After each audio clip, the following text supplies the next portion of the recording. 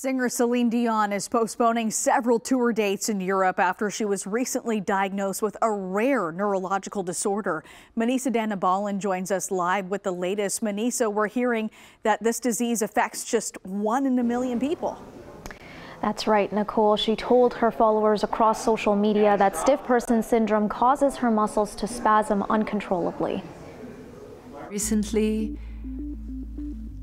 have been diagnosed with a very rare neurological disorder called stiff person syndrome. In an emotional video, the 54 year old singer opened up, saying she's been dealing with health problems for a long time. These spasms affect every aspect of my daily life, sometimes causing difficulties when I walk and not allowing me to use my vocal cords to sing the way I'm used to.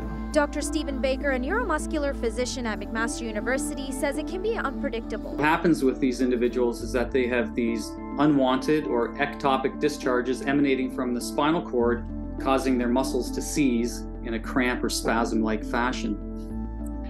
And it can be triggered, triggered particularly with uh, startle uh, or stress.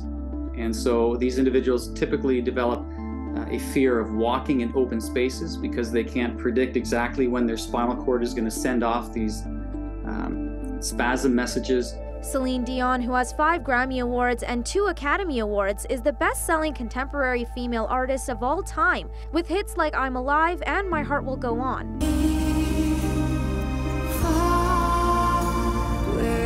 Her video, she says she had no choice but to postpone her Courage tour. All I know is singing.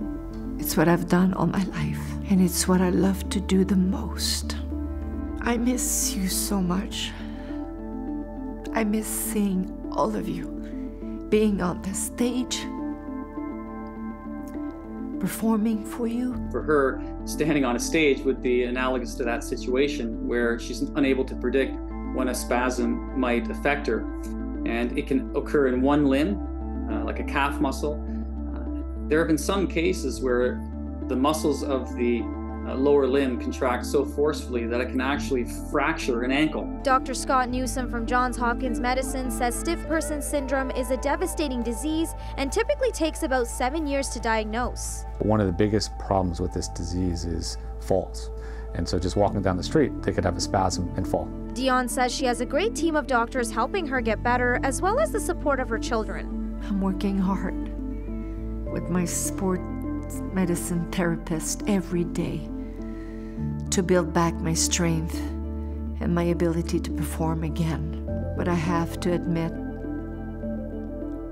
it's been a struggle. Specific treatments will improve symptoms but won't cure the disorder. Closest we would come to a cure would be the um, orphan neurologic disease transplant program out of uh, University of Ottawa. But Baker adds that with treatment, she could return to the stage.